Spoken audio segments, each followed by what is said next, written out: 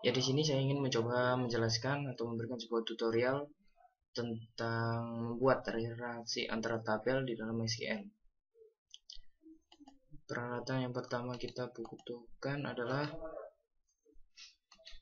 nah, peralatan yang kita butuhkan peralatan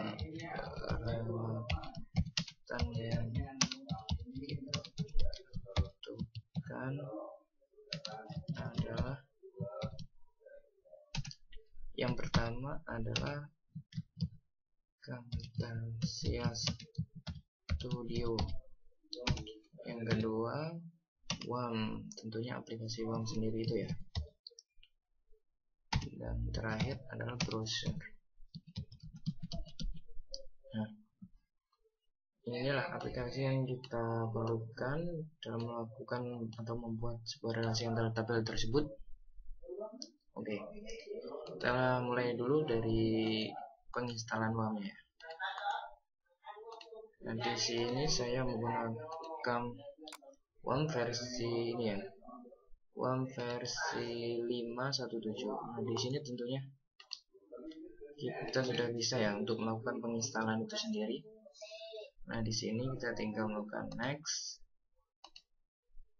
next, tentukan next, next ya. Nah, di sini saya tidak ingin meneruskan lagi karena di sini sudah terinstall aplikasi WAM tersebut. Nah, di sini di sini sudah aktif ya. Di sini nah service berarti ini untuk mengaktifkan semuanya menjadi aktif selanjutnya penginstalan Camtasia Studio sendiri sama seperti ini sama software-software seperti biasa. Oke kita langsung aja menuju inti dari permasalahan itu sendiri ya. Ini tampil yang kita perlukan untuk membuat nyata.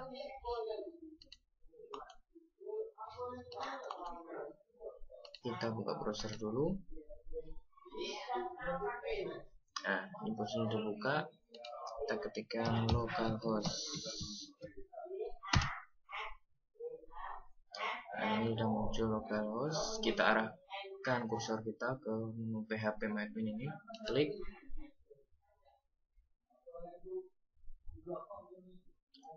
Selanjutnya berhubung kemarin sudah dikasih database itu ya. Nah ini database yang dikasih kemarin jadi kita tinggal menulisnya sampai menulisnya saja ya.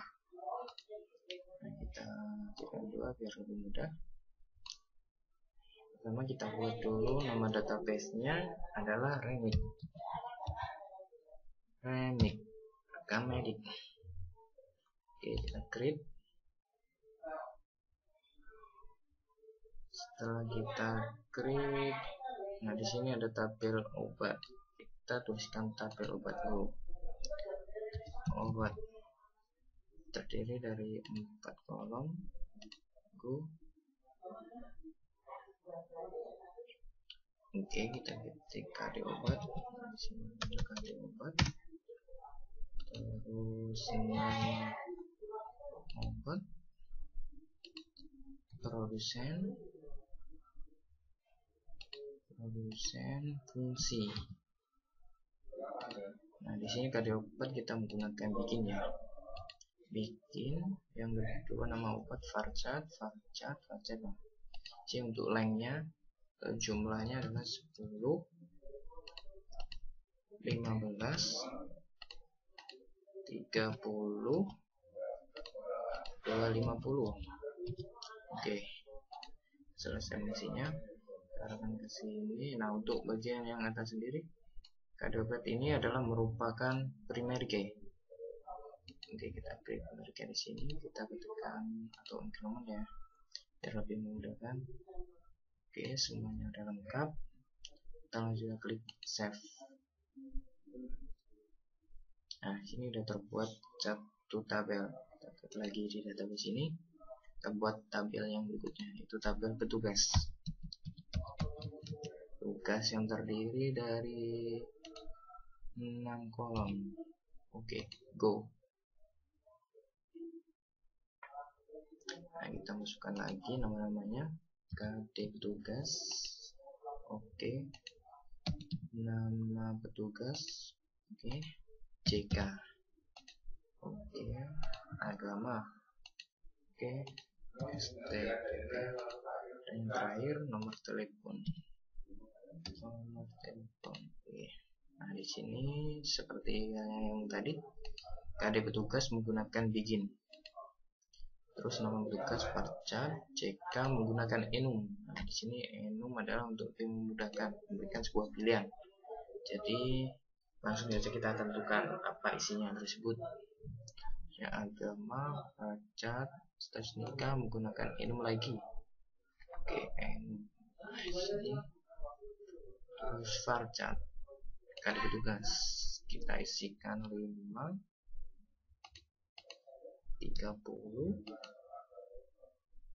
tenumnya kita lihat. Di sini ada LPG agama 10 oke. Terus nikah. Ini lagi. Single atau di sini single atau belum nikah nah sini kita isikan 15 15 oke. Okay. di sini nah untuk lagi yang ini kita berikan primary untuk increment sudah selesai. Nah ini udah lengkap semua. Jangan lupa ini adalah store engine nya harus kita harus menggunakan InnoDB ini ya tidak boleh yang lain. Supaya kita bisa membuat relasi di akhir nanti. Kita oke udah dua tabel yang kita punya. Kita buat lagi tiga tabel lagi. Tabel berikutnya adalah pasien. Pasien memiliki 8 kolom. 8 fact oke 8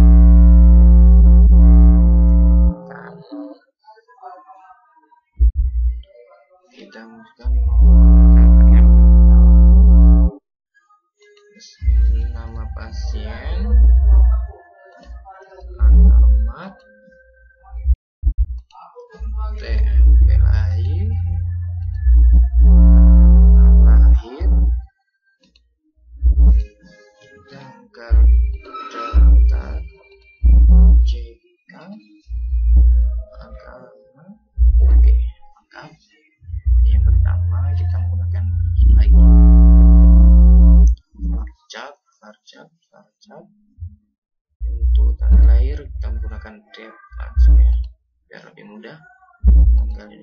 date jenis kelamin menggunakan enum oke agama varchar nomor RM nya 5 pasien 30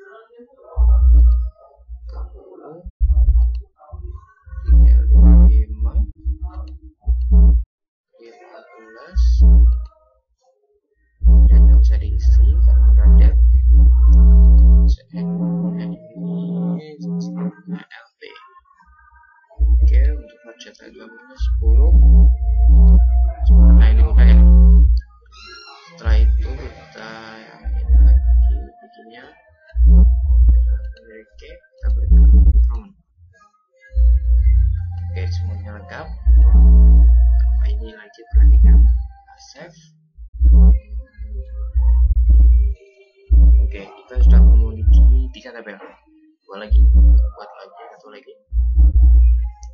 masukkan tabel berikutnya adalah tabel daftar filenya adalah 4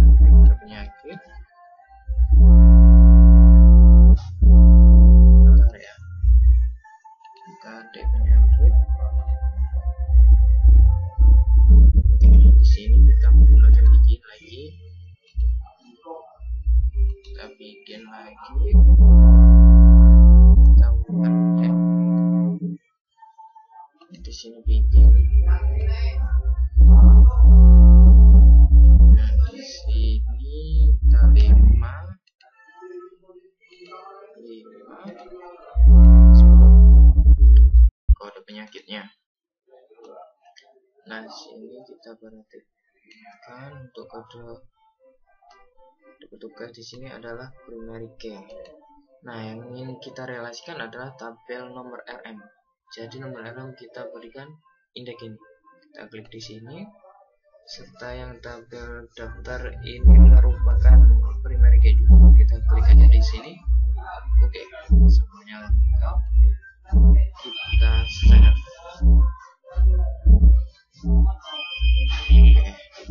Mempunyai satu lagi. Tabel berikutnya adalah tabel penyakit. Tabel penyakit. Oke tabel penyakit ada tiga. Go. Di sini tabel penyakit KD penyakit. Oke. Nama penyakit nama penyakit oke okay. dan ciri-cirinya oke okay. di sini gunakan bikin lainnya adalah varchar bikinnya 10 oke okay, 35 dan ini yang ciri-cirinya 500 ya biar banyak terus di sini adalah kode penyakit kita berikan di sini untuk nah Oke selesai kita selanjutnya save Oke tahap pertama kita sudah selesai. Selanjutnya kita ingin membuat relasinya. Kita langsung ingin membuat relasi antara tabel daftar RM ini user ini berhubungan dengan tabel pasien ya pasien ini. Yang ingin kita hubungkan adalah di sini. Nomor RM di sini akan kita hubungkan dengan file nomor RM yang ada di tabel daftar ini. Oke. Untuk melakukannya karena di sini nomor FN udah terindeks ya udah masuk indeksnya ini udah kita buat indeksnya di awal tadi. Jadi kita langsung klik aja di sini. Relation view kita klik aja Oke. Okay. Nah, di sini nomor RM. Nah, di sini nomor yang ingin jadikan tabel master adalah daftar, tabel daftar. Jadi di sini eh kita hubungkan ke pasien nomor pasien nomor yang menjadi tabel master adalah tabel pasien ini. Oke, di sini kita pilih cascade. Pilih cascade lagi. Kita save. Oke kita sudah membuat suatu relasi. Nah, di sini kita sudah menunjukkan kalau kita sudah membuat relasi tersebut. Selanjutnya kita ingin mencoba atau mengatasinya dengan kita menginputkan, mengedit, mendelete, dan mengupdate-nya. Oke, kita pertama-tama kita isi dulu data-data yang ada di tabel pasien tersebut dengan klik insert. Nah, di sini nomor RM-nya kita isikan terserah dulu 012 misalnya. 012 nama pasiennya Ali terus nama Bojonegoro tempat tanggal lahir Bojonegoro tanggal lahirnya di sini kita pilih. Ini perumpamannya aja ya. Oke kita saja kita Jun dan oh, oke ini tanggal lahirnya tanggal daftar masuk rumah sakitnya kita bikin tanggal 4 oke. Nah di sini jenis kelaminnya laki-laki ya agama tujuannya Islam. Oke Islam. Kita langsung saja. Kita klik go. Oke nah di sini udah masuk. Sudah membuat satu data. Di sini datanya. Masuk ya dengan dengan nomor RM12 ini. Dengan nomor RM12 ya. Terus kita input lagi di daftar sini kita masukkan data lagi. Kode petugas 001 oke. Nomor RM tadi 012 oke daftar. Tanggal 4 oke. Kode penyakitnya 023 oke lagu. Oke sini sudah masuk juga inputan kita.